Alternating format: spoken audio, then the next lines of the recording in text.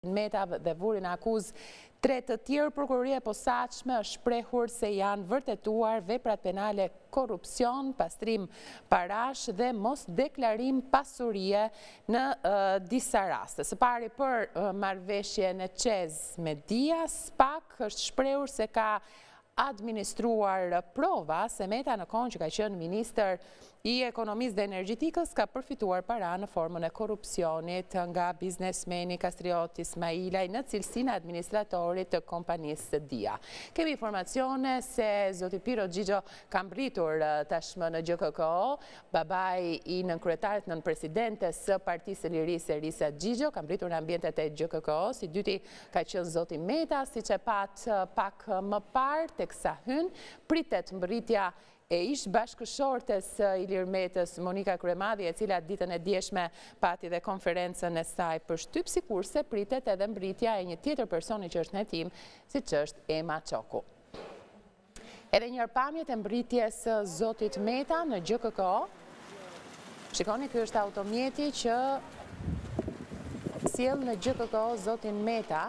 Theksoj, janë pamje vetëm të pak momenteve më parë. Nuk është se u duk zoti Meta të mbërrinte, pra të dukej përmes kamerave. E tillë është fushëpamja, zoti Meta është futur nga dera që qëndron përpara automjetit për në ambientet e brendshme të GJKKO-së, shoqëruar nga efektivët e policisë të shumtë në numër, siç e shihni. Edhe një herë i pari që ka mbërritur ka qenë zoti Piro Xhixho për t'u njohur me masën.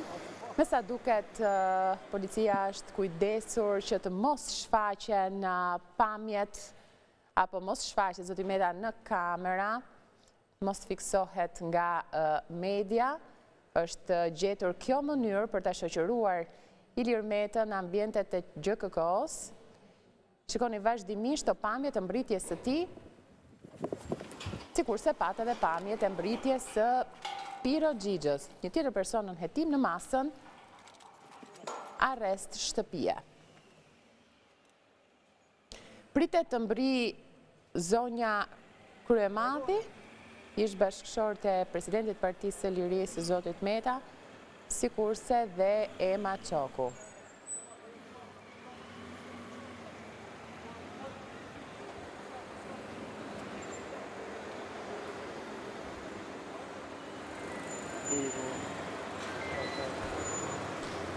Teksa na shoqërojnë këto pamje të fundit që kemi të nderuar shikues, kthejmë në kujtesë arrestimin e presidentit të Partisë së Lirisë vetëm dy ditë më parë në mbikalimin e Kamzës teksa kthehej nga Morina. Një arrestim që në fakt ka patur mjaft kritika për nga mënyra se si është kryer arrestimi i Ilir Metës, pra ekzekutimi i urdhrit për arrest.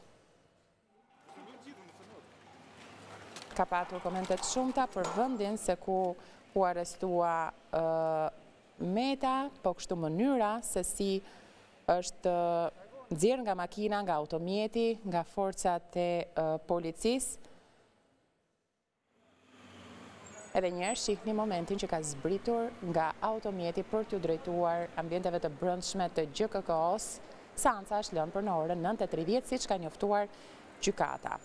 Ilir Meta u arrestua në datën 21 tetor me urdhër të SPAK dhe firmosur nga GJKKO Ndërkohë që kemi bërë të ditura edhe caktimet e masës për detyrim paraqitje për bashkëshor, ish bashkëshorten e tij, Monika Kryemadhi, GJKKO caktoi masën arrest shtëpie për Pirro Xhixhon, ish kreu i AKEP-it, dhe babai i nënkryetares së Partisë së Lirisë, Erisa Xhixho, si edhe detyrim paraqitje për Ema Çokun, një person i afërt me Monika Kryemadhin.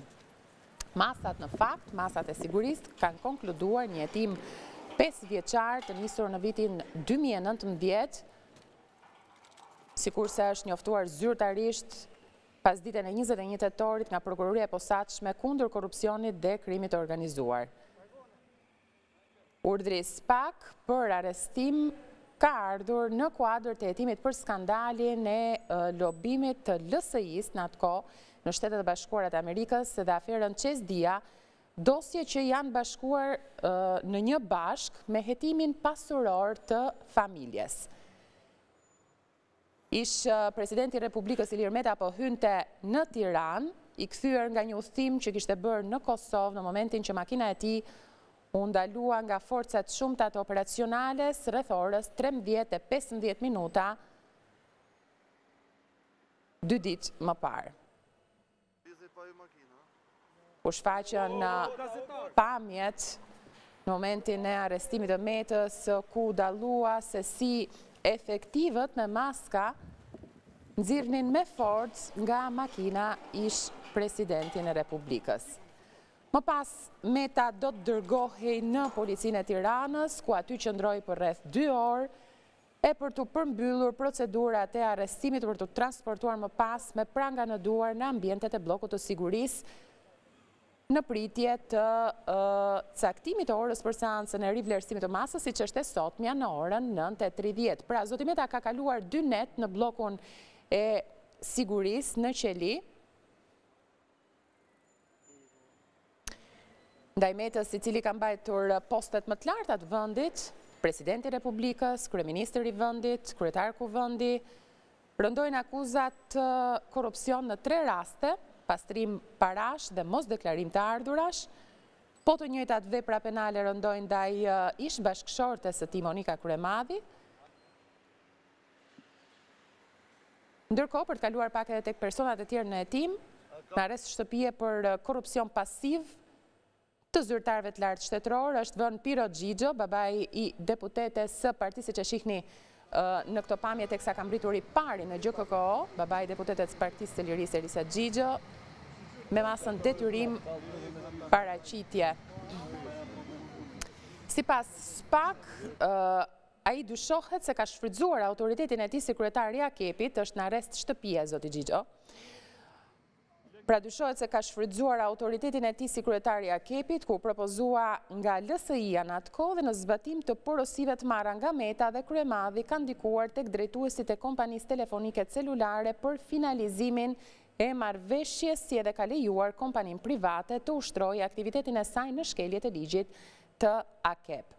Ema Çoku, në fakt, mike e Monika Kryemadhit, rëndon akuza pastrim i produkteve të veprës penale Korrupsion pasiv, është një personazh i njohur në kryeqytet, në fakt, Ema Çoku, ka patur në pronësi një prej lokaleve më në zë, në ish Bllok të Tiranës, Përballë me vilën e ish-diktatorit Hoxha. Tre janë prokurorët e dosjes, Sotir Kllapi, Arben Kraja dhe Altin Dumani, ndërsa gjyqtari që ka lëshuar masat është Erion Çela.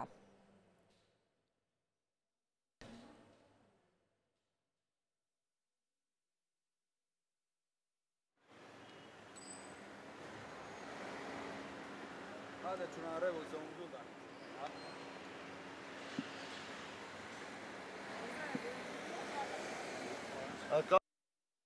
Ne vijojmë të qëndrojmë në transmetim të drejtpërdrejtë të nderuar shikues.